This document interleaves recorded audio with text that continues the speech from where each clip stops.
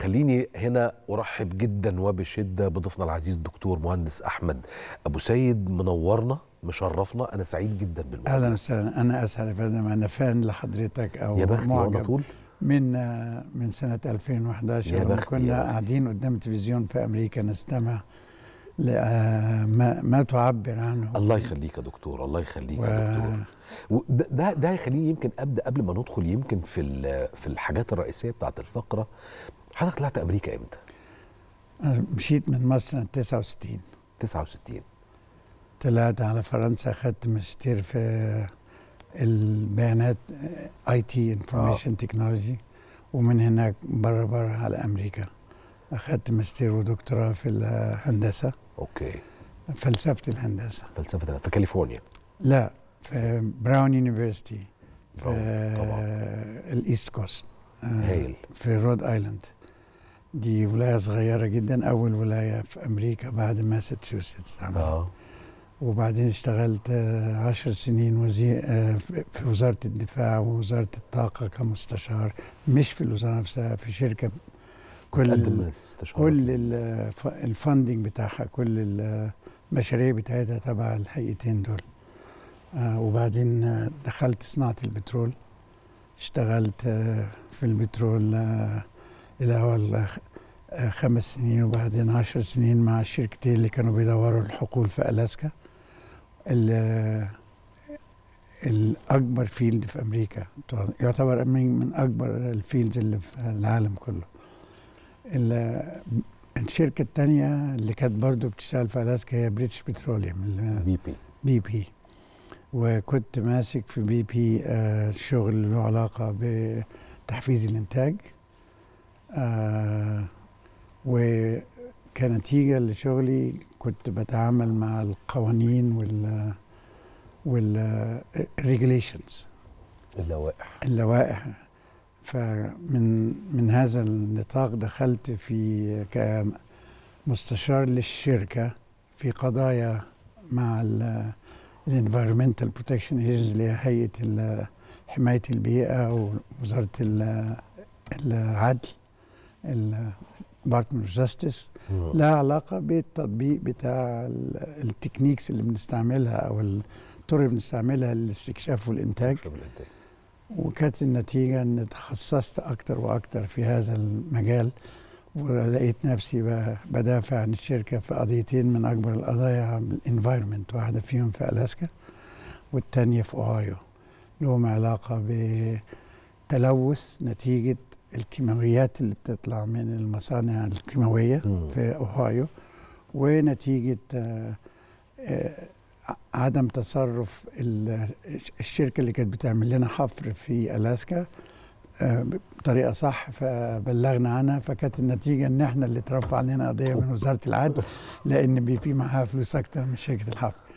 فأخدت ال- القضيتين دول واحدة في آه، سنة 91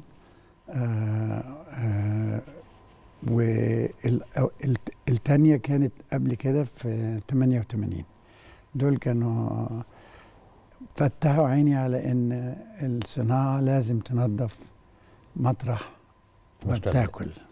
مطرح ما بتشتغل فابتديت أهتم بهذا الناحية من الشغل وبقيت مسؤول في بي بي عن معظم الأماكن اللي حصل فيها إما تلوث أو وجود نفايات نتيجة الشغل بتاع الاستكشاف والإنتاج والتكرير والح... فلقيت إن ده بيخدم ال- المجتمع من ناحيتين من ناحية بيسهل شغل الإنتاج والاستكشاف والطاقة والناحية التانية بي... بينظف البيئة.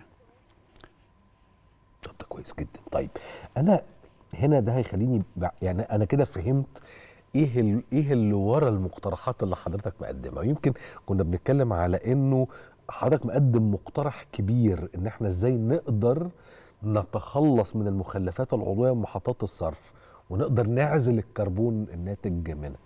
وده علم وأنا مش راجل بتاع علم. فأنا هستأذن حضرتك تشرح لي وتشرح لنا جميعا هنشرح بتبسيط. هنشرح حضرتك ال- البترول ما هو إلا آه، اتحاد عنصر الكربون والهيدروجين. الهيدروكربون. الهيدروكربون ده مثلا الغاز والبترول اللي عندنا في البحر المتوسط عبارة عن النباتات اللي جابها النيل ورماها في البحر المتوسط. مع الوقت ومع الدفن ومع درجة الحرارة والضغط تحللت وبقت آه الزيت. ال- الزيت والغاز. آه. المخلفات العضوية ما هي إلا كربوهيدرات كربوهيدرات اللي هي النشويات والنباتات والحاجات اللي بناكلها. وب- وبنلفظها كربوهيدرات هيدروكربون في حاجات آه، آه. تشبه بعضهم. هم كربون هيدروجين وكربون وهيدروجين. في النهاية هم نفس ال two هو elements. البترول بيطلع من آه. من المخلفات العضوية. البترول والغاز بيطلع من آه. المخلفات العضوية لأن هو الكربون والهيدروجين بيتحدوا مع بعض جايين من النبات أو من الحيوان. وبي مع الوقت والطبخ تحت الأرض والضغط والحرارة بيتحولوا إلى غاز وبترول. okay. يبقى إذا لما أنا عايز أنظف الجو من ثاني أكسيد الكربون. خليني أقول الأول ليه ثاني أكسيد الكربون خطر. إحنا نعرف على موضوع الصوب إحنا بلد مم. زراعية من من زمان آه. ونعرف إن الصوب بتدخل الحرارة في اتجاه واحد. أيوه. وهو إن الحرارة اللي صادرة من مصدر مضيء بتخش لكن الحرارة ما اللي. جوه بتخرجش فبتخلق لي الجرين هاوس افكت جرين هاوس افكت ثاني أكسيد الكربون بالضبط بيعمل كده. ده الاحتباس الحراري اللي بنتكلم عليه. ثاني أكسيد الكربون لما بيطلع في الجو بيبقى زي الصوبة. دخل الحرارة آه. من الشمس ترفع درجة حرارة الأرض يحصل بقى إيه؟ الكوارث ال- البيئية اللي إحنا. اللخبطة كمثال بسيط ال- المحيط ال- الهادي Pacific لما درجة الحرارة بتاعته تطلع درجة أو درجة ونص. بيحصل طوفانات بيحصل أعاصير. ده ظاهرة اسمها النينيو مم. النينيو ما هي إلا ارتفاع درجة الحرارة بتاعة المحيط الهادي لأنها بتغير شكل تيارات المية. المية والجو والهواء رايح بيتجه اتجاهات تانية ويشيل الرطوبة يحطها على الأرض وهكذا. فده ما بيحصل وبيحصل مثلا كل 30 أو حاجة بيحصل آه، النينيو والنينيا والعكس بتاعه لما يبرد. تخيل حضرتك إن إحنا في آه، في الجو ثاني اكسيد الكربون بيسبب عملية ارتفاع الحرارة اللي بتؤدي في العادي إلى ان لو عندك منطقة جليدية تسيح. مم. لو عندك مية بت- المنسوب بتاعها منسوبها هيزيد بيزيد. آه فتهدد الشواطئ بأنها تغمر تخيل. حضرتك إن مصر ما بين أسوان وإسكندرية 10 متر. مم. ارتفاع أسوان آه. 10 متر ارتفاع إسكندرية صفر. آه. يعني و1000 كيلو. يعني كل كيلو كل ما المية تطلع سنتي تغطي كيلو.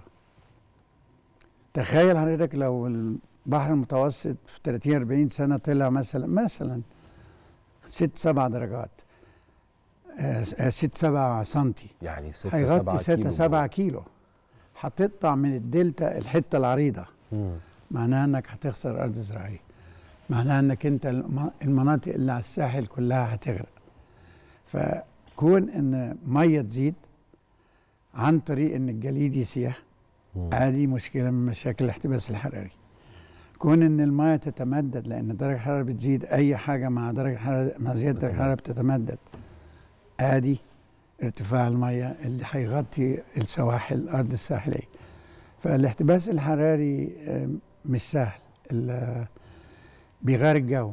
العصير اللي بنشوفها النهارده أنا كنت لسه جاي من السعودية بنشتغل هناك في التخلص من النفايات ال- المشعة اللي بتطلع مع الغاز واللي بتطلع من آه، تحلية الميه في بيطلع مواد مشعة ناتشورال يعني طبيعيا هي مم. مواد مشعه أما الغاز بيمشي في المسام بتاع الصخر بسرعة بيطلع معاه آه، حبيبات صغيرة من الصخر مشعه مم. مشعه يعني ما هياش صفر لكن ما هياش مشعه زي القنبلة الذرية. طبعا. إنما وجود الإنسان جنبها خطر. بيشكل خطورة. يشكل خطورة. ال X-ray people اللي بيشتغلوا في ال- ال X-ray آه طبعا. لابسين جهاز يقيس ال- صح. الناس اللي بتشتغل حوالين ال NORM المادة دي اسمها NORM naturally occurring radioactive material دي برضه بيلبسوا نفس الجهاز ويقيس لهم وبعض الأحيان بنضطر نروح ناس من الموقع لأن درجه درجة المعدل. زاد آه. معدل زاد كمثال إن السعودية بتنتج نص مليون طن سنويا من الغاز وال ال- المواد البترولية اللي طالعة ده غير مليون ونص بينتجوا من تحلية المية مصر عندها بركة في رأس شقير تحوي ما لا يقل عن تلت مليون برميل من هذه المادة على السطح دي بواقي من الاستكشافات لا الإنتاج والإنتاج بيخلي المواد دي تشبط في البايبس في آه. الأنابيب بنكشطها عشان نخلي الغاز والبترول يمشي. و- ونركنها نخزنها. دي مادة من المواد ال- الم- النفايات بتاعت طب ودي صالحة للتدوير ولا غير صالحة لا لا. للتدوير؟ دي لازم تدفن مطرح لازم ما جت تدفن. لازم تدفن مطرح ما جت من الصعب إنك تدورها لأن آه زي ال X-ray الإشعاع بسيط لكن مع استمرار التعرض له مشكلة. فالسعوديه بادئين معاها مشروع ال- المرة دي أنا كنت في السعودية بن- بنخلص التفاصيل. آه، ادي موضوع تاني لل- للنفايات. نرجع للنفايات العضوية ونرجع للاحتباس الحراري. النفايات العضوية زي ما أنا قلت لحضرتك معظمها كربوهيدرات. معظمها. نشا نبات بناكله وبعدين بيتم التخلص. التخلص منه بقى بين بي- بيبقى عن إيه؟ عادة الناس بتروح تستعمله كسماد. هذه المادة بتبيعها محطات الصرف للمزارع بحوالي خمسة دولار الطن مم. 300 جنيه. معلش أنا هشتغل ده بس طبيعي ماشي. نقول 10 دولار عشان نبقى ماشيين رسمي. أوكي. آه هذا الطن يحوي نصه كربون. طن الحمأة. اللي بيطلع من آه. محطات الصرف في نص طن كربون. لما بتفرشه كسماد الكربون ده بينطلق بيطلع عن طريق إنه بيطلع غاز الميثين. وغاز ال carbon dioxide ده مثال لما أنا أحوشه عشان أعمل بيه آه، سماد للأرض للأرض أنا بطلع هذه المواد للس- للسطح لأن النبات والأرض ما مش عايزين ده عايزين النيتروجين مم. عايزين الأمونيا آه. عايزين ال- الفوسفيت الحاجات اللي هي بت بتفيد لكن الكربون لا عايزين. مضر بيطلع الجو ف بقالنا في لوس أنجلوس 12 سنة بنشتغل مع لوس أنجلوس City. آه. في محطات الصرف هناك محطة ناخد منها خم 15% من الحمأة بتاعتها. Okay. 15% من محطة هم ثلاث محطات. لوس أنجلوس عندها آه كمية آه آه bio waste آه. في العشر سنين اللي فاتوا إحنا منعنا 3 مليون طن كربون from getting to the atmosphere. طيب أنا أساسا هروح لفاصل وعايز أرجع بعد الفاصل بعد إذن حضرتك أعرف إحنا عايزين نعمل المشروع ده فين في مصر على سبيل المثال وإزاي؟ وكمان الجدوى الاقتصاديه ما يعني كل حاجة دلوقتي فلوس. فإذا كان الطن بخمسة دولار لا ده إحنا لازم نشتغل فيه. فاصل. ونكمل الطن اللي بيستخدم كسماد آه. بتبيعه الحكومة بخمسة دولار. لا هنلاقي له صرف وبت بتدعمه. هنيجي نشوف قيمته إيه ككربون.